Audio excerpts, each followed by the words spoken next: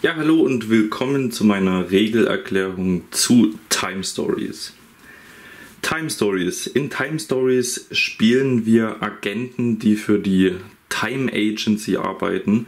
Und die Time Agency hat es zur Aufgabe, Risse und Anomalien, die kurz bevorstehen, in der Zeit aufzutreten, zu verhindern. Und dafür schickt sie die Agenten in sogenannten Zeitkapseln zurück in die Zeit oder auch manchmal in die Zukunft, eben genau zu dem Zeitpunkt hin, wo gerade so ein Riss oder eine Anomalie zu entstehen droht. Time Stories ist im Grunde ein kooperatives Spiel, wo alle Spieler versuchen gemeinsam das Rätsel ähm, zu lösen. Also Rätsel heißt ähm, eben zu verhindern, dass ein Riss in der Zeit entsteht das ist meistens verbunden eben mit einem Rätsel. Es ist so, dass Time Stories in verschiedenen Szenarien gespielt wird. Es gibt in der Grundschachtel genau ein Szenario, das ist das hier, das ist die Nervenheilanstalt und die spielt im Jahre 1921. Es gibt mittlerweile schon drei weitere Szenarien, wo wir immer in andere Schauplatz, Schauplätze kommen. Einmal kommen wir zum Beispiel in eine mystische Fantasy-Welt. Dann ein anderes Mal kommen wir so in, den, in, den, in die 90er Jahre und müssen dort gegen Zombies kämpfen. Und bei dem dritten Szenario, was es gibt, dort müssen wir in das alte Ägypten und dort versuchen, ein Rätsel zu lösen. Ja, und bei unserer Reise zu den Schauplatz begegnen wir ganz einfach vielen unterschiedlichen Leuten. Wir können viele Orte besuchen und zwar schlüpfen wir dabei immer in sogenannte Wirte. Das sind pro Szenario vorgegebene Personen, die eben in dem Szenario eben eine besondere Rolle spielen und diese Wirte steuern wir quasi. Wir können auch gegebenenfalls die Wirte verlassen während eines Szenarios und äh, in andere Wirte gehen, aber prinzipiell besuchen wir eben mit diesen Wirten unterschiedliche Orte wie hier. Hier haben wir jetzt zum Beispiel einen Ort ausgelegt, der in der Nervenheilanstalt angesiedelt ist und zwar ist das hier der Aufenthaltsraum und ja, die Orte aneinandergelegt bilden immer so ein schönes Panorama. Und die Spieler haben dann mit ihren Agentenspielsteinen dann die Möglichkeit zu markieren, welchen Ort sie jetzt besuchen wollen. Bei der ganzen Sache gibt es aber genau ein Problem und zwar die Zeit. Denn hier der Zeitmarker gibt an, wie viel Zeit wir aktuell noch zur Verfügung haben. Denn alles an Aktionen, was wir so ausführen und der Wechsel von Orten, der kostet Zeit. Und wenn wir irgendwann hier bei Null angekommen sind, dann ist unser Durchlauf fehlgeschlagen und wir müssen quasi das Szenario zurücksetzen, können gegebenenfalls ein oder zwei Karten, die wir bereits gefunden haben, wieder mitnehmen und müssen einen neuen Durchgang starten. Diesmal haben wir aber natürlich schon im Gedächtnis, was wir überhaupt schon erlebt haben, wo wir überall waren, was wir vielleicht das nächste Mal nicht irgendwie anschauen sollten, wo wir nicht hingehen sollten. Und so hat man eben im nächsten Durchlauf dann ein bisschen bessere Möglichkeiten, den dann zu bestehen. Eine Information noch vorweg, bevor ich jetzt mit der genauen Regelerklärung anfange. Je nachdem, was ihr schon über Time Stories gehört habt, ähm, wisst ihr vielleicht schon, dass es bei dem Spiel sehr wichtig ist, dass man im Vorfeld nicht so viele Informationen, besonders über die einzelnen Szenarien hat, weil damit ist ja quasi der Spielspaß verloren gegangen, denn man kann im Grunde jedes Szenario nur einmal spielen, weil dann kennt man natürlich das Rätsel und ja, dann ist ein bisschen die Spannung raus. Und ich werde mich jetzt hier darauf konzentrieren, euch Sachen vorzustellen, die auch genau so abgebildet sind in der Anleitung. Also ich zeige euch nicht mehr als das, was man in der Anleitung sehen kann. Diesen Ort hier zum Beispiel, das ist der Startort, der in der Nervenheilanstalt als erstes besucht wird und den sieht man eben auch mehrfach in der Anleitung. Deswegen kann ich den euch zeigen, genauso wie den Wirt hier, die Madeleine den sieht man auch mehrfach in der Anleitung. Deswegen seht ihr hier nichts, was ihr nicht auch in der Anleitung sehen würdet. So, dann geht's los. Dann möchte ich euch erstmal zeigen, was es denn alles an Spielmaterial in der Grundschachtel gibt. Prinzipiell ist es so, dass die Grundschachtel eben Spielmaterial für alle möglichen kommenden Szenarien bietet und natürlich auch die, die schon erschienen sind. Wobei nicht immer alle Materialien verwendet werden. Das ist ganz einfach je nach Szenario unterschiedlich. Also die Grundbox bietet euch quasi so den Bausatz für die Szenarien, die dann eben noch kommen werden, die schon gekommen sind, um diese dann spielen zu können. Ja, fangen wir hier mit den Spieleragentensteinen an. Die gibt es hier eben in großer Form. Die zeigen einfach unseren Spieler an und markieren damit einen Ort, den wir besuchen können. Dasselbe gibt es nochmal hier in der kleinen Variante, die wir dann auf unsere Wirtskarte stellen, um quasi ja, eine Verbindung zu sehen, damit wir wissen, aha, genau, Spieler rosa ist, äh, Spieler pink an der Stelle ist jetzt eben die Madeleine. Dann haben wir noch hier den neutralen Stein, also der ist nicht weiter markiert. Das ist der Gruppenmarker. Der befindet sich dann oben auf dem Plan, denn hier oben ist immer so eine Karte abgebildet. Und der Gruppenstein zeigt an, in welchem Ort wir uns gerade alle befinden. Dann gibt es hier noch so ein paar Marker. Und zwar gibt es einen grün, gelben, braunen und blauen. Und diese Marker haben je nach Szenario ganz einfach vollkommen unterschiedliche Bedeutung. Also das ja, ist wirklich szenarioabhängig. Beim der Nervenheilanstalt ist es zum Beispiel so, dass äh, braune Marker Munition darstellen.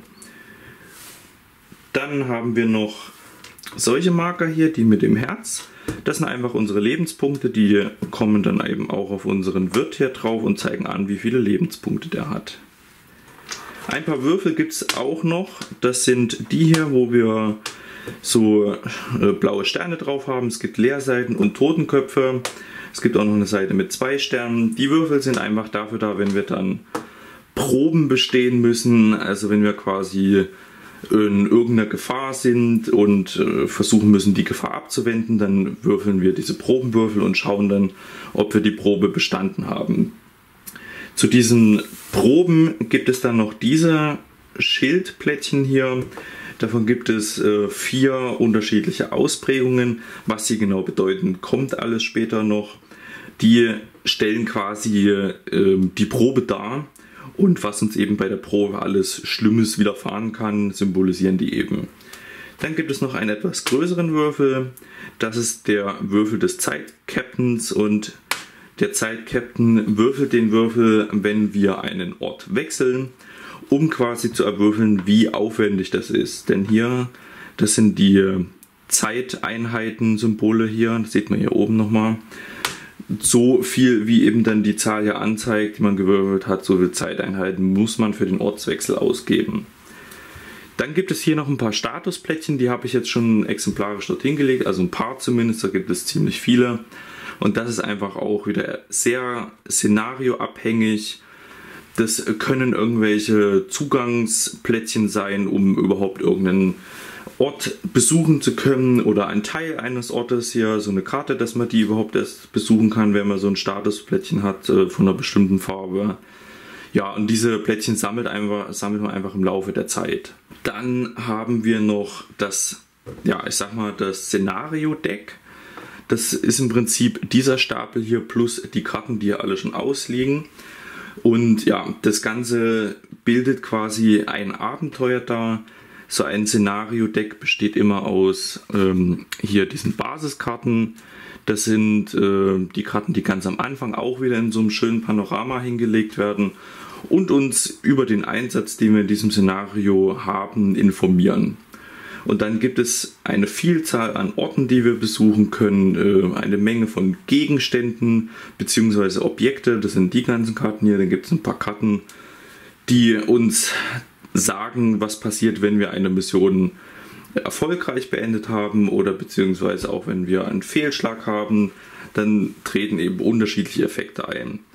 Und ganz wichtig noch eben, bei diesem Kartenstapel muss man wirklich aufpassen, den darf man sich nicht vorher einfach so anschauen, denn sonst läuft man Gefahr, dass man einfach zu viel Informationen schon im Vorfeld sieht, die man eigentlich erst im Laufe des Spiels erkunden muss. Deswegen den Stapel von oben nach unten langsam durcharbeiten und immer nur dann etwas aufdecken und anschauen und auf den Spielplan legen, wenn wir dazu aufgefordert werden. Zum Spielaufbau. Ihr legt erstmal den Spielplan vor euch aus. Idealerweise legt ihr ihn so hin, dass alle Spieler, die mitspielen, hier auf derselben Seite sitzen. Macht sich ganz einfach leichter, um Sachen zu erkennen, weil es eben halt wichtig ist, dass man sich hier Bilder anschaut und so weiter. Dann nimmt sich jeder Spieler hier die zwei Figuren seiner Spielfarbe, die er spielen möchte. Ähm, zur Spieleranzahl gibt es noch zu sagen, das Spiel ist im Grunde für zwei bis vier Spieler ausgelegt. Idealerweise spielt man es wirklich mit vier Spielen, weil es ist ein sehr kommunikatives Spiel. Hier gilt es ganz einfach, Erfahrungsaustausch zu machen, Sachen, die man gesehen hat, Ideen mit ins Spiel zu bringen, diese zu besprechen mit anderen Leuten und deswegen je mehr Spieler, desto besser. Man kann es auch zu zweit spielen. Bei der Spieleranzahl ist es so, dass ähm, jeder natürlich eine Figur nimmt und dann kann man sich aussuchen, entweder nimmt jeder noch eine zusätzlich, die man steuert, oder man nimmt eine dritte Figur nur und spielt die dann quasi gemeinsam. Ja, dann, wenn sich jeder das rausgesucht hat, legen wir hier noch so die ganzen Marker, die es so gibt, äh, um das Spielfeld drumherum. Die Statusplättchen legen wir hier drüben bereit. Das sind jetzt noch ein paar, die ich hingelegt habe die Würfel, den Gruppenmarker gleich hier oben da, wo der Plan dann hinkommt, ein paar von den Probenplättchen. Da habe ich uns gesehen, habe ich eben noch eins bei der Spielmaterialvorstellung vergessen. Diese Schilde gibt es auch noch. Hier die Lebensmarker, die ganzen anderen Marker auch über den Spielplan, den Würfel und den Zeitmarker bereitlegen. Dann legen wir natürlich das Szenario hier mit nebendran und wir beginnen immer erst mit der Basis. Die Basis ist auch das, äh, der Ort, sag ich mal in Anführungsstrichen, weil es ist kein richtiger Ort, der immer oben drauf liegt. So, und dann nimmt man ganz einfach eben die Karten und legt sich hier so schön die, dieses Panorama zurecht. Man bestimmt einen Zeitcaptain der Zeitketten ist im Grunde ja der Spieler, der so ein bisschen in Anführungsstrichen das Sagen hat, ähm, weil es ist ganz einfach so, da es ja ein sehr kommunikatives Spiel ist, wo Gruppenentscheidungen getroffen werden müssen, also eben kooperativ auch, äh, damit jetzt keiner sich irgendwie in den Vordergrund drängelt oder eben auch keiner irgendwie ähm, zu sehr hinten runterfällt Deswegen gibt es einen Zeitcaptain, der immer jede, nicht jede Runde, sondern für jeden Ortswechsel neu bestimmt wird. Der wandert dann einfach im Uhrzeiger rum, in Uhrzeigersinn. Und der Zeitcaptain, der liest eben dann zum Beispiel die Basiskarten vor oder halt bei den Ortskarten dann jeweils nur die erste, weil dort ähm, hier die hier, die erste, die auf der Seite liegt, weil dort so ein bisschen was zu dem Ort erzählt wird und der Zeitcaptain hat auch sagen wir mal so, die letzte Entscheidungsgewalt, um zu bestimmen, ob ein Ortswechsel durchgeführt werden soll. Ja, aber im Grunde agiert schon jeder Spieler irgendwie für sich alleine. Also jeder trifft seine eigene Entscheidung. Nur eben die Gruppenentscheidungen, die trifft der Zeit-Captain. Ja, und dann, wenn ihr jetzt angefangen habt, dann lest ihr jetzt das nacheinander durch. Und dort wird quasi beschrieben, was ihr zu tun habt, welche Wörter ihr nehmen müsst, äh, was denn noch für Karten aufgedeckt werden müssen und ja, dann geht's los. Noch kurz vorab die vielleicht noch ein bisschen genauere Erklärung zu den einzelnen Bereichen auf dem Spielbrett hier. Hier oben habt ihr schon gesehen, hier ist immer der Plan, die Karte, wo wir uns quasi gerade befinden und wo wir hinreisen können. Diese Bereiche, den hatte ich jetzt noch gar nicht weiter erläutert.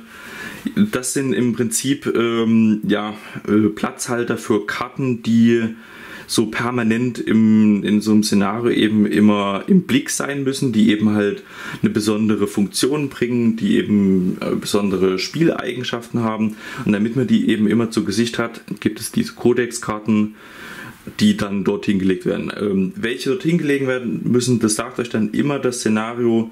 Nur damit ihr das schon mal wisst, in der Nervenheilanstalt gibt es, glaube ich, keine Karte, die irgendwie dort oben hingelegt wird. Also nicht wundern. Hier kommen die Karten für den Missionsfehlschlag bzw. Missionserfolg hin. Hier kommen die ganzen äh, Objekte hin. Das ist der Bereich, wo wir unsere Spielsteine platzieren können. Hier werden immer die Orte ausgelegt.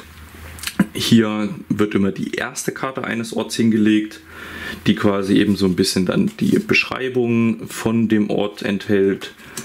Hier ist der Ablagestapel, also sprich die Karten, die, also Orte, die wir schon besucht haben und so weiter, die werden alle hier gesammelt, weil man kann ja auch wieder zu Orten zurückgehen, deswegen weiß man dann, dass man in dem Stapel suchen muss.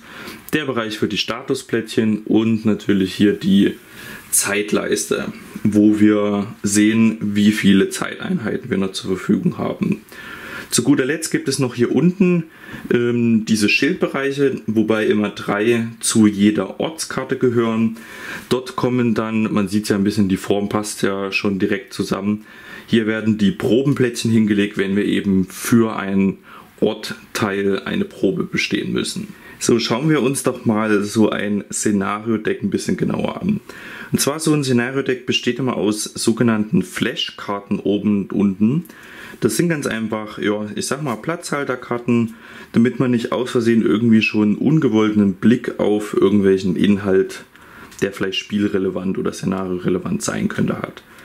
Wenn man den dann hier ablegt, dann geht es eben sofort, wie schon gesagt, mit der Basis los. Prinzipiell gibt es äh, zu den Karten noch Folgendes zu sagen. Die haben hier unten immer so eine Nummer.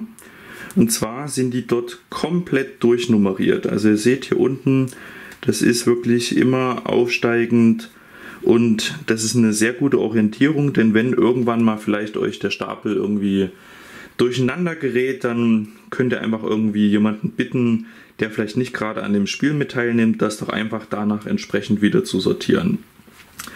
Bei den Ortskarten sehen wir immer noch hier drauf abgebildet, wie viele es davon gibt. Also hier, das ist eben immer die erste A und dann gibt es eben halt bis G, damit man auch immer weiß, welche es dann genau gibt. Bei den Objekten ist es so, dass es natürlich hier immer große Zahl drauf gibt und hier in den äh, rechten und linken Ecke sieht man dann auch nochmal klein, dass man hier eben beim so schnell durchblättern schon sieht, welches Objekt ist das. Bei dem Plan, gut, das ist der Stadtplan, den legt man nur einmal hin. Da muss man in der Regel nicht irgendwie im Laufe des Spiels noch weiter suchen. Dann, was gibt es noch? Das hier sind die verschiedenen Charaktere, noch eine Symbolleiste. Zu den Ortskarten gibt es auch noch was Interessantes. Und zwar sieht man immer hier links, wie denn der Ort heißt. Das ähm, ist ganz einfach sehr wichtig, dass man halt wirklich nicht zu viel auffächert, um dann einen neuen Ort zu suchen. Also immer darauf achten, nicht so weit aufzufächern, denn hier an der Seite sieht man schon, wie der Ort heißt und kann den dann so schnell finden. Hier unten noch wieder abgebildet, welche Karten es denn zu diesem Ort genau alle gibt. Ja, das war es im Grunde auch schon, denn die ganzen restlichen Karten sind alles Orte. Hier wieder nur die unteren Flashkarten. Jupp, so viel zu dem Stapel. So, dann schauen wir uns jetzt mal nach und nach ähm, ein bisschen die einzelnen unterschiedlichen Kartentypen genauer an. Fangen wir mit den Missionen abgeschlossen bzw. fehlgeschlagen Karten an. Die sollte man sich auf jeden Fall vorher äh, die Rück also die Seite hier genauer anschauen, denn es gibt unterschiedliche Bedingungen. Wir haben hier eine Mission abgeschlossen Karte, die ja, werden wir ganz einfach dann vorlesen müssen, wenn uns das Szenario dazu auffordert. Dann gibt es hier fehlgeschlagen. Und zwar gibt es dort unterschiedliche. Ich äh, fächer die mal so ein bisschen auf hier. Und zwar, es gibt einmal Missionen fehlgeschlagen, wenn uns die Zeit ausgeht. Dann gibt es hier nochmal Missionen fehlgeschlagen, wenn uns die Zeit ausgeht. Da gibt es aber hier eben dann noch den Zusatz, wenn euch zum zweiten Mal die Zeit ausgeht. Und dann haben wir hier unten noch normal Mission fehlgeschlagen ohne weiteres und dann auch nochmal. Aber eben in unterschiedlicher Farbe, wo uns dann auch das Szenario vorgibt, wann wir welche Karte nehmen sollen. Also das sollte man hinten drauf die Rückseite sich vorher anschauen, damit man weiß, äh, wann man welche Mission fehlgeschlagen Karte dann potenziell zieht. Zu den Ortskarten hier oben gibt es eigentlich nicht so viel zu sagen. Ich zeige dir euch übrigens bewusst jetzt ein bisschen weiter weg, damit ihr nicht zu viele Details davon seht. Ähm, Im Grunde gibt es einfach hier eben diesen Gruppenmarker, den stellt man immer auf einen Ort, der auch einen Namen trägt. Also die ganzen anderen Bereiche von der Karte, wo jetzt kein Name irgendwie draufsteht, kann man natürlich nicht besuchen. Ja, und je nachdem, wo man eben gerade ist, bewegt man dann einfach dann die Gruppenmarker dorthin. So, dann schauen wir uns die Ortskarten nochmal ein bisschen genauer an. Und zwar auf den Rückseiten von einigen Ortskarten gibt es solche Symbole hier, die besagen ganz einfach, dass man den Teil von dem Ort eben nur betreten kann, wenn man diese Statusplättchen hier eben in seinem Bereich, in dem Spielbereich liegen hat. Ähm, oder eben halt, es kann auch nur ein bestimmtes sein. Es gibt auch die Variante, dass alle Spieler auf diesem Teil des Ortes stehen müssen und man zum Beispiel noch äh, zusätzlichen Statusplättchen haben muss. Dann gibt es auch noch die Variante, die ist in der Anleitung mit abgebildet, dass es Orte gibt, die nur von bestimmten Charakteren betreten werden können. Da sind dann eben die Wirtsbilder davon abgebildet. Und was es dann auch noch in der Anleitung zu sehen gibt, da habe ich jetzt kein Kartenbeispiel konkret, das sind diese hier. Das sind äh, Orte, die dürfen wir explizit nicht betreten, sondern nur, wenn uns eine andere Karte dazu auffordert. Das sind Orte, wo mindestens ein Agent sich diesen Teil des Ortes anschauen muss. Und diese Karte hier unten mit dem Mülleimer besagt ganz einfach, wenn nicht mindestens ein Agent diese Karte erkundet hat, sobald der Ort das erste Mal aufgedeckt wird und man wechselt dann den Ort, dann verschwindet die Karte. Also wenn man, man hatte eben die Möglichkeit zu Orten wiederzukommen und wenn das erste Mal, wo man im Ort war, nicht einer hier drauf war, dann würde der Ort dann nicht mehr da sein. Vielleicht noch kurz hier zu dem, was ich eben gesagt habe, dass es ähm, Ortskarten gibt, wo bestimmte ähm, hier Leute nur drauf können. Das haben wir hier zum Beispiel. Ähm, hier können eben halt nur der Charakter und der hier dort diesen Ort erkunden. Oder hier unten haben wir auch noch die Möglichkeit, äh, dass so ein Objekt angegeben ist, was man eben halt auch besitzen muss oder beziehungsweise was diese Person hier besitzen muss. Schauen wir uns nun mal so eine Wirtskarte ein bisschen näher an. Die Madeleine kennt ihr ja schon, aber der ihren Rückseite, die kennt ihr noch nicht. So. Und zwar, was sehen wir hier drauf? Wir sehen, dass es hier erstmal einen Namen gibt, so wie die Person eben heißt. Ähm, hier in diesem Bereich kann gegebenenfalls noch eine Startausrüstung stehen. Wenn da was steht, äh, zum Beispiel nehmt Objekt 3 als Startausrüstung, dann legt ihr das einfach am Anfang, wenn ihr euch für den Wirt entschieden habt, damit drauf. Dann hier in diesem Bereich, diese drei Symbole sind die Fähigkeiten des Charakters. Die sind ganz einfach dann für die Fertigkeitsproben relevant. Die Zahl hier äh, gibt jeweils an, mit wie vielen Würfeln man dann würfeln kann, wenn man eine Probe in dieser Fertigkeit besteht. Hier drüben der Bereich äh, zeigt an, was wir quasi für einen Rüstungswert haben. Und hier die Lebenspunkte, also so viele, wie hier die Zahl angibt, von den Lebenspunktemarkern legen wir zu Beginn des Spiels hier auf den Charakter. Hier unten gibt es dann noch Eigenschaften, die der Charakter hat. Die sind ganz einfach, ähm, ja, je nach Szenario unterschiedlich. Also beziehungsweise die Auswirkungen sind eben halt immer konkret auf das eine Szenario dann und ja, können halt völlig unterschiedliche Sachen sein bei den unterschiedlichen Wirten. Noch ein paar Zusatzinformationen. Ähm, die Lebenspunkte, die Zahl, die er angibt, die kann quasi, äh, der angegeben ist, kann nie überschritten werden. Das heißt, der Charakter kann auch nie mehr als drei Lebenspunkte eben haben. Und dann ist es so, wenn man sich jetzt für in einem Durchlauf für einen Wirt entschieden hat, dann hat man die Möglichkeit, wenn man den Durchlauf verloren hat und eben man einen neuen Durchlauf starten muss, einen anderen Charakter zu nehmen. Man kann aber auch den nehmen, den man eben schon in dem vorherigen Durchlauf hatte. So, das war jetzt äh, eine Menge Informationen vorweg, bevor man jetzt so zum eigentlichen Ablauf kommt. Und damit wollen wir jetzt nun endlich anfangen. Und zwar, ich habe ja schon mehrfach von diesem Durchlauf gesprochen, also eben halt ein Durchlauf ist ja äh, quasi einmal das komplette Spiel, bis man keine Zeiteinheit mehr hat. Und ja, pro Durchlauf spielt man quasi immer ähm, zwei Phasen abwechselnd. Und zwar ist das einmal Ort erkunden, auslegen, ähm, ja, dort äh, Aktionen ausführen. Und die zweite Phase ist dann ganz einfach der Ortswechsel. Die Basiskarten, die geben uns vor, zu welchem Ort wir dann quasi direkt hingebeamt werden, sage ich mal. Und dort angekommen also das ist jetzt eben der Startort von dem Szenario Nervenheilanstalt. Dort angekommen nimmt der Zeit-Captain die Karte A, liest sie laut vor. Ähm, bei der Karte gibt es, oder beziehungsweise bei jedem von den Orten gibt es auf der A-Karte immer hier so dick gedruckte Wörter, die äh, referenzieren quasi immer so ein bisschen, was man in diesen unterschiedlichen Ortskarten dann sieht. Also man kann das vielleicht dann irgendwie noch ein bisschen deutlicher vorlesen. Hier Krankenschwester dick geschrieben, dass man eben halt diese damit meint. Ja, wenn das dann der Zeit-Captain vorgelesen hat, dann geht, sagen wir auch schon die ja, Diskussionsphase los.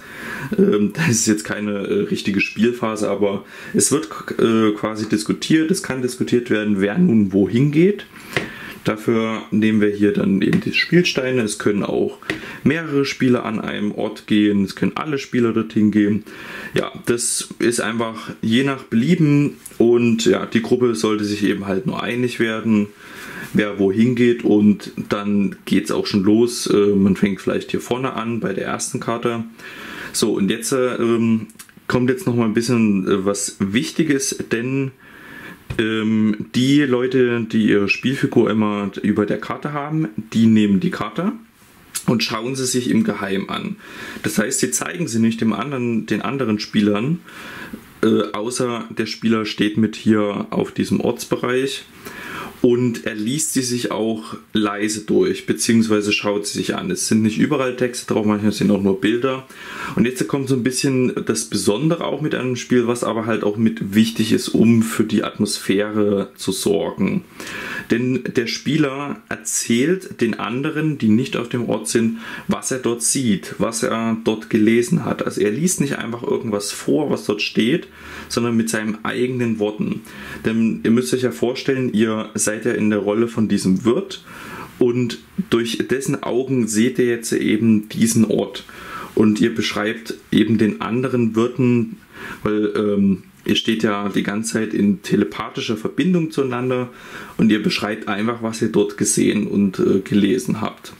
Es gibt ganz selten auch den Fall, dass auf so einer Ortskarte ähm, neue Regeln stehen. Die müsst ihr dann natürlich dann laut vorlesen, aber das ist dann auch nochmal ganz speziell ähm, ja, markiert, hervorgehoben, wenn es sich um eine neue Regel handelt. Ja, wenn das abgehandelt wurde, dann geht man einfach zu der nächsten Ortskarte, wo äh, Spielsteine oben drüber stehen. Und dann geht das immer so weiter und dann entscheidet man quasi, was man dann weiter tut. Was es vielleicht auch noch zu den Ortskarten zu sagen gibt, ähm, je nachdem, was ihr dort dann eben seht, äh, das bestimmt natürlich dann das, wie jetzt dann die nächsten Runden sich entwickeln und äh, es kann sein, dass da drauf steht, nehmt ein Objekt, also nehmt Objekt XY und das nehmt ihr einfach dann sofort in dem Moment, wenn ihr euch die Karte angeschaut habt. Es kann aber auch sein, dass dort, äh, das kommt äh, dann auch recht häufig vor, dass es eine Probe zu bestehen gilt. Äh, es kann auch sein, dass ihr als vielleicht positiven Ausgang der Probe dann erst das Objekt nehmen könnt. Da müsst ihr ein bisschen aufpassen. Aber das steht eigentlich alles genau dann dort drauf beschrieben. Äh, es gibt auch zum Beispiel Proben oder Ortskarten, wo es Proben zu bestehen gibt, wo ihr nicht einfach wieder abhauen könnt. Ähm, aber das erkläre ich dann später noch alles genauer. Ja, also prinzipiell jetzt noch, das Ganze hat jetzt, äh, also hier quasi aussuchen, wo man sich hinstellt und dann nacheinander die Karten anschauen. Das hat keine Zeiteinheit gekostet. Das ähm, ist wichtig, also erstmal prinzipiell das Szenario gibt vor, wie viele Zeiteinheiten man hat. Das ist auch ein bisschen Spieleranzahl abhängig, wie viel mitspielen. Ähm, mal angenommen jetzt hier das Szenario startet mit 35 Zeiteinheiten. Ihr werdet von der Basis direkt dort hingebeamt zum ersten Ort. Macht das, was ich eben beschrieben habe und habt bis jetzt noch null Zeiteinheiten ausgegeben. So, denn Zeiteinheit ausgeben kommt quasi jetzt erst im Anschluss. Und zwar, ähm, es kann sein, dass andere äh, Spieler vielleicht irgendwie oder beziehungsweise Spieler noch andere Orte besuchen wollen. Der hier und der hier war jetzt in dem Fall noch unbesucht. Und ja, den muss man nicht besuchen. Also das ist wie gesagt immer eine Gruppenentscheidung. Wenn die Gruppe sich nicht einig ist, ist die Entscheidung des Zeitcaptains, ob wir jetzt vielleicht einen Ortswechsel machen oder hier noch weiter schauen. Um jetzt hier weitere Aktionen machen zu können, müssen wir jetzt Zeit ausgeben. Und zwar dafür gibt der Zeit-Captain eben eine Zeiteinheit aus. Er schiebt den Marker um 1 nach unten. Und während dieser Zeiteinheit können jetzt so unterschiedliche Dinge passieren. Ein Spieler kann einen Ort wechseln. So, also das können natürlich potenziell alle machen, aber eben ein Ortswechsel hier, also ein Ortskartenwechsel, um das vielleicht nochmal deutlicher zu sagen, ähm, den kann man innerhalb von einer Zeiteinheit ausführen. Kann auch sein, hier andere Spieler wollen sich eine Karte, die bereits angeschaut wurde, vielleicht auch nochmal genauer anschauen. Und ja, jetzt wird das wieder abgehandelt. Die Ortskarten können angeguckt werden. Das ist jetzt ein Beispiel, was bei einer Zeiteinheit passieren kann. Was auch passieren kann, ähm, ich weiß leider nicht mehr genau, wo der stand, ähm, ich glaube vielleicht hier. Ähm, also ich sette das nochmal. So, was auch passieren kann, wenn eine Zeiteinheit ausgegeben wird, eine, dass eine Probe bestanden werden kann. Und zwar ähm, auf diesen Ortskarten ist dann eben halt direkt beschrieben, äh, es gibt eine Probe zu bestehen. Wie das genau abläuft, erkläre ich dann nochmal genau, weil dann legt man hier entsprechend, was die Ortskarte anzeigt, hier die Probenplättchen hin und würfelt. So, das können alle Spieler machen, die gerade sich an diesem Ort befinden. Und man kann im Grunde einmal würfeln pro Zeiteinheit. Es kann zum Beispiel sein, ähm, hier ist irgendeine recht schwere Probe, die beiden Spieler haben es jetzt nicht während der einen Zeiteinheit geschafft. Dann wird wieder eine weitere ausgegeben und die anderen Spieler kommen denen vielleicht zur Hilfe. Die Spieler, die bereits dort waren, können während der Zeiteinheit, die ausgegeben wurde, wieder erneut würfeln. Die, die jetzt erst dazugekommen sind, natürlich nicht, weil die haben die Zeiteinheit benutzt, um erst zu diesem Ort zu kommen. Da müsste erst noch eine ausgegeben werden und jetzt können wirklich dann nochmal alle vier gleichzeitig würfeln. Vielleicht noch ein abschließender Hinweis, was man auch äh, während einer Zeiteinheit machen kann. Man kann einfach auch nichts tun. Also man kann einfach dort stehen bleiben, wo man gerade ist. Man kann sich dort nicht nochmal, braucht sich nicht nochmal was anschauen oder sonst was. Einfach nur nichts tun. Ist natürlich jetzt nicht empfohlen, denn es gibt im Grunde immer irgendwas zu tun und auch was man tun sollte. Ja, das war es im Grunde auch schon, was man in Phase 1 ähm, so alles tun kann. Wenn jetzt diese Phase abgeschlossen ist, also wenn sich eben halt die Spieler entscheiden, okay, wir sind jetzt durch hier an dem Ort, können sie einen Ortswechsel machen. Und das ist eben halt auch schon das äh, zweite, was man machen kann. Ein Ortswechsel läuft nun so ab, dass alle Spielsteine hier vom Plan genommen werden. Dann ähm, ja, packt man die ganzen Ortskarten wieder zusammen. Äh, wieder darauf achten, dass man die Reihenfolge hier einhält. Ähm, ja, und dann entscheiden die Spieler eben gemeinsam, zu welchem Ort sie reisen wollen. Dabei ähm, versetzen sie eben dann diesen Gruppenmarker auf irgendeinen anderen Ort. Der muss jetzt nicht irgendwie angrenzend zu dem sein, wo wir uns gerade schon befinden, sondern der kann irgendwo sein. So, Wichtig ist natürlich, man muss einen anderen Ort nehmen, als von dem man gerade kommt. Also, ne, das ist klar. Und ja, wenn man das dann gemacht hat, also ich packe die jetzt mal hier alle zusammen. So, dann nimmt man die, packt die unter das Deck, also angenommen hier steht, liegt jetzt eben das Deck drauf, man packt die Karten unten drunter und dann nimmt der Zeit-Captain den Würfel,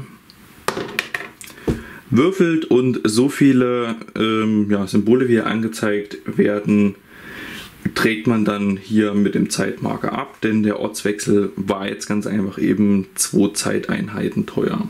Eine Besonderheit noch bei dem Ortswechsel, es kann auch Orte geben, die eine rote Schrift haben und bei denen ist es so, wenn wir von diesem Ort zu einem anderen wechseln, müssen wir immer zwei Zeiteinheiten zusätzlich ausgeben, also zu dem Ergebnis, was hier gewürfelt wurde.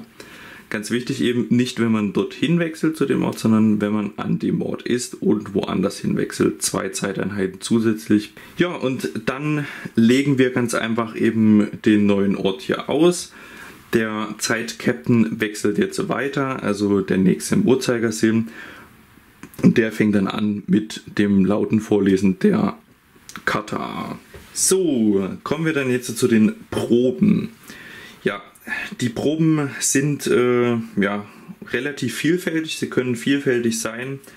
ihr müsst zum Beispiel äh, vielleicht irgendwie so Kreaturen bekämpfen oder man muss jemanden überzeugen, man muss Schl äh, Schlösser knacken, Abgründe überqueren oder oder oder. Also gibt es wirklich viele unterschiedliche Sachen. Und wie jetzt äh, so eine Probe dann aufgebaut ist, seht ihr immer auf der entsprechenden Ortskarte. Ähm, weil ich euch jetzt natürlich keine zeigen will, zeige ich euch das Beispiel hier aus der Anleitung. Hier, so seht ihr mal, wie das dann beispielhaft aussieht. Also hier erstmal die Fähigkeit, in der die Probe durchgeführt wird. Und dann seht ihr hier immer noch so die unterschiedlichen Schildsymbole und die Anzahl, die ihr dann äh, ja, bei der Probe quasi bestehen müsst. Und das, was dann eben hier so neben der Fähigkeit liegt, äh, beziehungsweise was dort hier abgebildet ist, das müsst ihr dann hier hinlegen und zwar in den unteren Bereich. Das heißt, da war jetzt eben drei so Blankoschilde, die kommen hier hin und ein so ein Totenkopf. Ja. Es gibt noch die anderen, was die, äh, also die drei hier, was die bedeuten, kommt jetzt gleich. Ähm, prinzipiell läuft so eine Probe so ab, dass ja, man muss erstmal würfeln. Und nachdem man gewürfelt hat, schaut man dann, wie viele Treffer hat man durch den Würfelwurf Danach gibt es einen eventuellen Gegenschlag und zum Schluss gibt es noch Auto, eine automatische Strafe gegebenenfalls. So, ich zeige euch das jetzt einfach mal, wie das hier abläuft. Erstmal schauen wir natürlich hier auf unseren Charakter, was er denn dort für eine Zahl oben hier in dieser Fertigkeit hat, die gerade geprüft wird. Wir haben ja gesehen, diese grüne Fähigkeit wird gerade geprüft und da hat die gute Martine hier eine 2 stehen. Deswegen bekommt sie zwei Würfel. So, mit denen würfelt sie erstmal. Okay, ist äh, ja ein gutes Beispiel auf jeden Fall, denn jetzt kommt eben die Auswertung des äh, Würfelwurfs, also die Treffer werden gezählt und ein Blitz ist ein Treffer.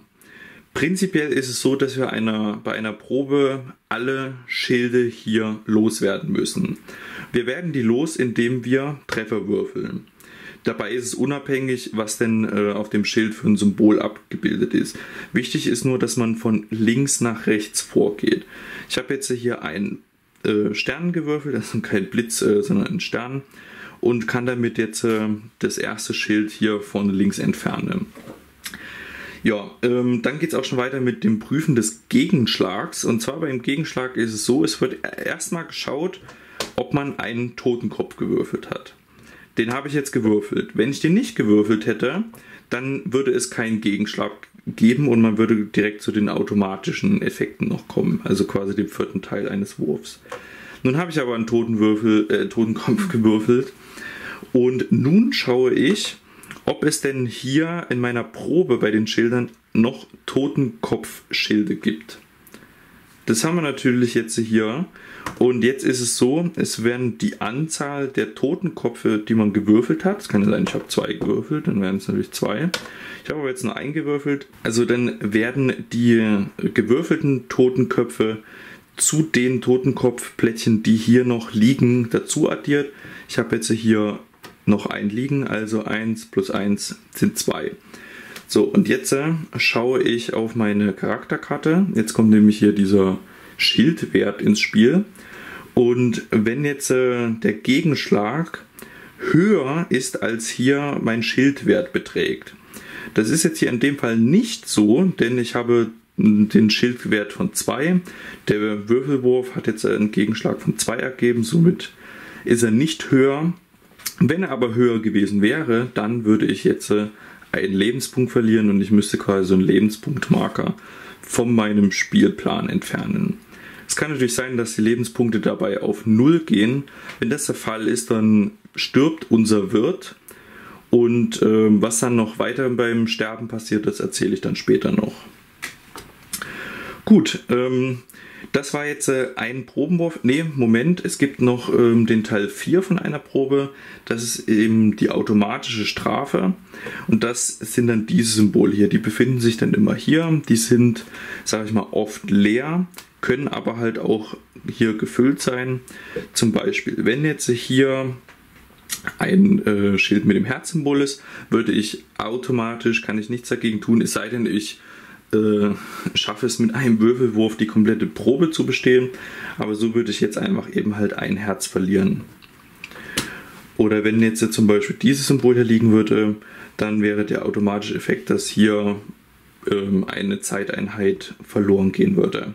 Das ist ähm, übrigens auch pro Plättchen, die hier liegt. Also wenn hier zwei von denen liegen, wären es zwei Zeiteinheiten, bei zwei Herzplättchen hier wären es dann zwei Herzen.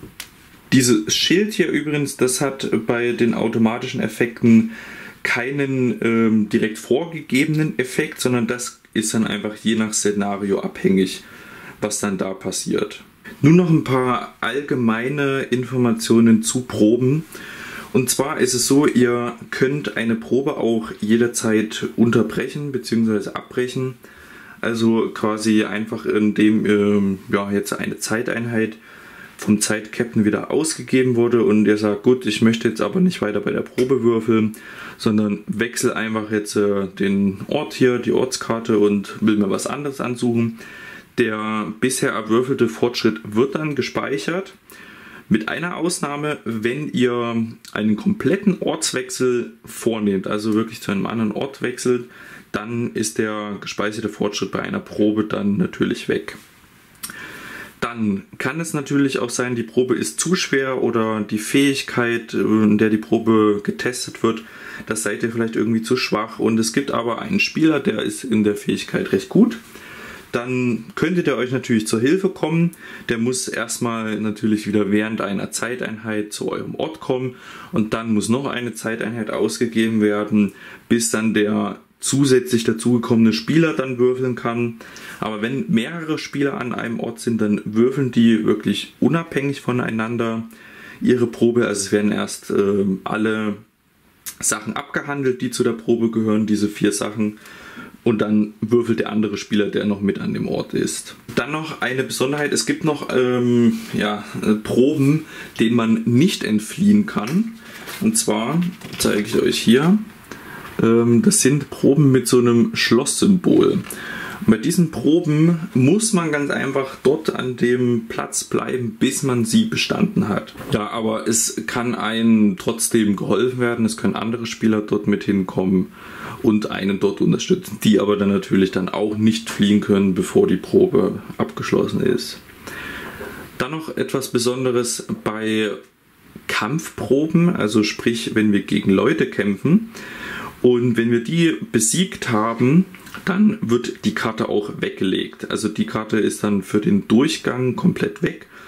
Äh, das heißt, wenn wir irgendwann mal später wieder zu dem Ort zurückkommen, dann fehlt halt die entsprechende Karte in dem Panorama, sondern ähm, erst wenn wir einen kompletten Durchlauf neu beginnen würden, dann kommt sie wieder mit ins Spiel. Dann noch abschließend, ähm, was es noch zu Proben zu sagen gibt. Ähm, wenn jetzt mehrere bei einer Probe gerade äh, würfeln, dann ist es so, dass die Reihenfolge ist ja prinzipiell egal, wie sowas abgehandelt wird. Also sei es ähm, das Betreten der einzelnen Ortskarten, das ist beliebig.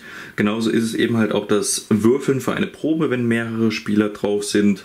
Es kann zum Beispiel auch so sein, dass ähm, ein Spieler würfelt, der hier schon ist und der andere Spieler ähm, entscheidet sich dann, je nachdem, wenn jetzt vielleicht der Spieler 1 schon die Probe erfolgreich bestanden hat, dass er vielleicht mit seiner Zeiteinheit lieber doch was anderes anfängt und äh, noch zu einer anderen Ortskarte geht. Selbst das ist möglich. Was aber auch noch wichtig ist, ich hatte es ja vorhin gesagt, dass man ähm, auch nichts tun kann, während eine Zeiteinheit ausgegeben wurde.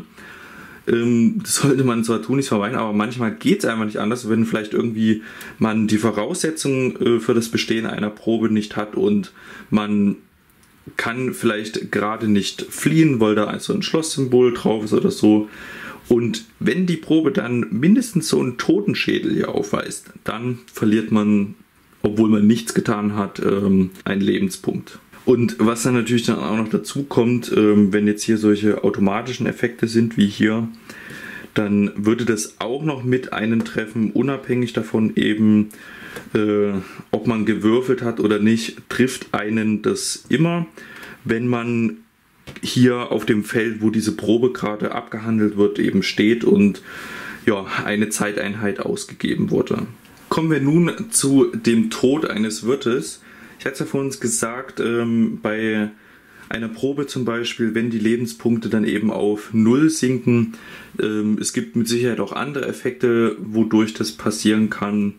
Stirbt ein Wirt und was das bedeutet, ist ganz einfach, wir nehmen die Spielfigur hier vom Spielplan hier weg, egal wo, an welchem Ort die oder an welchem Feld von dem Ort die gerade ist. Dann nehmen wir den kleinen Marker hier zu, der, zu unserer Spielfarbe und setzen den 1, 2, 3, 4, 5, 6, 7 Felder vor dem aktuellen Zeitmarker. So lange braucht es quasi, bis unser Wirt wieder reaktiviert ist und wieder zurückkommt. Und es kann natürlich sein, dass wir mit unserer Zeit schon so verschwenderisch waren oder beziehungsweise schon so viel ausgeben mussten, dass wir, ähm, ja, ich sag mal, weniger als sieben Felder vor der Null sind, dann ist es ganz einfach so, dass der Wirt für diesen Durchlauf komplett tot ist und nicht wiederkommen kann. Aber gut, mal angenommen, ähm, er kann wiederkommen. Ähm, 1, 2, 3, 4, 5, 6, 7. Und dann ist es so, dass der Spieler zwar sich schon noch an Diskussionen mitbeteiligen kann, also der Spieler natürlich von dem der Wirt tot ist, aber ansonsten kann er keine äh, direkten Aktionen mitmachen oder sowas. Ähm, was auch noch dazu zu sagen ist, wenn ein Wirt stirbt, dann wird, wird seine Ausrüstung und alles, was er halt eben bei sich liegen hat, aufgeteilt auf andere Spieler. Ähm, unabhängig, wo die gerade stehen. Also die müssen nicht an dem Ort stehen, äh, wo der Wirt gerade gestorben ist. Und ja, dann, wenn jetzt eben die Zeiteinheit der Zeitmarker hier angekommen ist bei dem kleinen Männchen, äh, bei, dem, bei der kleinen Spielfigur, dann kommt der Wirt wieder zurück ins Spiel. Man nimmt die große Spielfigur und setzt den auf irgendeinem Feld von dem aktuellen Ort, wo sich bereits ein anderer Spieler auch mit befindet. Falls der Wirt irgendeine Startausrüstung hat, dann bekommt er die an dieser Stelle, wenn der Wirt wiederkommt, nicht nochmal. Es kann natürlich auch sein, dass alle Wirte tot sind. Bei diesem besonderen Fall ist es so, dass, das, äh, dass der Durchlauf sofort fehlgeschlagen ist. Und in dem Fall wird aber trotzdem hier die ähm, Mission fehlgeschlagen Karte gezogen, die äh, gezogen wird, wenn man eigentlich keine Zeiteinheit mehr hat. Gut, dann kommen wir nun zu den Objekten. Ihr seht jetzt hier einmal ein Objekt ähm, quasi von der Vorderseite. Das ist jetzt eben hier in dem Fall einfach ein Schlüssel. Objekte können aber völlig unterschiedliche Sachen sein.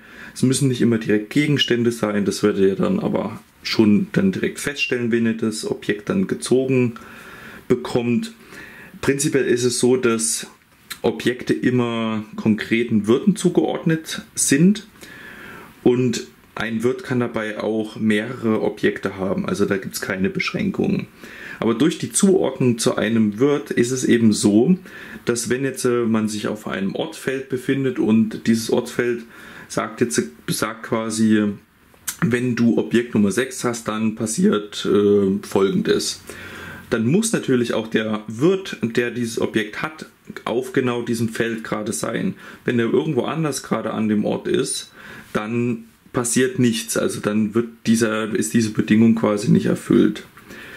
Ja, man kann aber auch ähm, Objekte mit anderen Wirten tauschen. Das geht ganz einfach, wenn man sich auf demselben Feld äh, eines Ortes gerade quasi befindet, dann kann man das einfach tauschen oder die äh, ganzen Wirte bzw. Spieler befinden sich gerade neben dem Spielplan, weil gerade ein Ortswechsel durchgeführt wurde. Das Tauschen an sich kostet keine Zeiteinheit, aber trotzdem ist es so, dass ein Objekt nicht mehrfach während einer Zeiteinheit von unterschiedlichen Wirten benutzt werden kann. Also wenn jetzt zum Beispiel ähm, der Schlüssel hier noch nicht während einer Zeiteinheit benutzt wurde, kann ich den einfach ähm, einem anderen Wirt, der sich auch auf dem Feld, wo ich gerade stehe, ähm, übergeben. Wenn ich den aber schon benutzt habe, dann nicht, dann muss erst wieder eine Zeiteinheit ausgegeben werden. Eine große Besonderheit, die man noch beachten muss, ist, das zeige ich euch jetzt hier wieder in der Anleitung, ähm, ist dieses Symbol. Ähm, dieses Symbol befindet sich auf äh, einigen Objekten. Ähm, es ist jetzt so in der Anleitung hier ist das zwar auf diesem Schlüssel, aber im Endeffekt im richtigen Szenario ist es jetzt nicht drauf. Deswegen zeige ich euch das hier in der Anleitung. Und zwar, wenn ein Objekt dieses Symbol hat, dann könnt ihr dieses Objekt mit in den nächsten Durchlauf mitnehmen. Also ihr habt quasi das Wissen über ähm, dieses Objekt schon erlangt und behaltet das dann damit. Ähm, der Rest von den Objekten oder Karten oder sonstigen, die kommen natürlich nach jedem Durchlauf wieder zurück. Also das wird resettet. Aber Objekte mit diesem Symbol können behalten werden. So, dann haben wir es fast geschafft. Ähm, es gibt noch ein bisschen was zu den Statusplättchen zu sagen. Die habt ihr ja jetzt mittlerweile schon mehrmals gesehen. Und zwar im Gegensatz zu den Objekten gehören die Statusplättchen quasi allen Spielern. Alle können die benutzen. Äh, es sei denn, ähm, es gibt natürlich Einschränkungen, also ähm, ein Szenario gibt es irgendwie dann vor, aber die allgemeine Regel ist, dass eben die jedem Spieler zur Verfügung steht. Und was können wir mit diesen Plättchen nun machen? Ähm, also prinzipiell, wir bekommen sie durch unterschiedliche Sachen im Szenario, meinetwegen, äh, wenn wir irgendwie einen Ort erkundet haben, kann das sein, also eine Karte von einem Ort oder auch ein Objekt kann so ein Statusplättchen mit sich bringen. Also das kann sehr unterschiedlich sein. Ja, und mit diesem Plättchen, Statusplättchen, äh, können wir eben meistens dann überhaupt erst verschlossene Orte erkunden. Hier habe ich jetzt nochmal beispielsweise ein. Dieser benötigt jetzt dieses Statusplättchen und solange das sich eben nicht in unserem Besitz befindet, können wir dort nicht hin. Aber mal angenommen, wir hätten dieses Plättchen jetzt äh, und dann wäre es ganz einfach möglich, dass wir unseren äh, Spielstein eben halt auf diese, auf hier das zugehörige Feld zu der Karte setzen und den Ort ganz normal erkunden können. Es kann aber auch sein, dass ähm, es irgendwelche anderen Anweisungen gibt, dass wir nun jetzt so einen verschlossenen Ort direkt aufdecken können, beziehungsweise erkunden können, obwohl wir das Plättchen nicht haben. Ähm, in diesem Fall nehmen wir natürlich nicht einfach das Plättchen, weil das Plättchen haben wir prinzipiell nicht bekommen. Wir haben nur die Möglichkeit jetzt zu bekommen, eben diesen Ort, diesen, diese Karte des Ortes trotzdem zu erkunden. Also nochmal genauer gesagt. Mal angenommen, ähm, hier sind jetzt zwei Spieler hier bei diesem äh, bei dieser Karte von dem Ort, den ihr ja schon ein paar Mal gesehen habt. Und die Rückseite der Karte sagt uns jetzt einfach, ihr dürft die verschlossene Karte mit diesem Symbol aufdecken, obwohl wir dieses Symbol nicht haben. Also steht einfach da, decke das Symbol, decke diese verschlossene Karte auf. Und ja, dann eben nehmen wir, wie gesagt, nicht dieses Plättchen, sondern wir nehmen die Karte. Die Spieler hier können die sich jetzt anschauen. Dafür müssen sie aber keine Zeiteinheit zusätzlich ausgeben. Diese Karte ersetzt quasi einfach dann auch physisch die, die wir hier aktuell zuerst angeschaut hatten. Und eben deswegen müssen wir keine Zeiteinheit ausgeben. Also die Spieler hier schauen die sich an und die kommt weg. Und die hier wird dann dorthin gelegt, weil eben diese Karte dann eben die vorherige ersetzt hat. So, zum Abschluss möchte ich euch noch was ganz Interessantes zeigen. Denn Time Stories bringt einen Speichermechanismus mit. Das heißt also, während eines Durchlaufs könnt ihr euch jederzeit entscheiden, irgendwie das Spiel zu unterbrechen und den aktuellen Spielfortschritt abzuspeichern. Dafür kommt so ein bisschen hier das, was hier in der ganzen Schachtel noch so an Inlay vorhanden ist ins Spiel.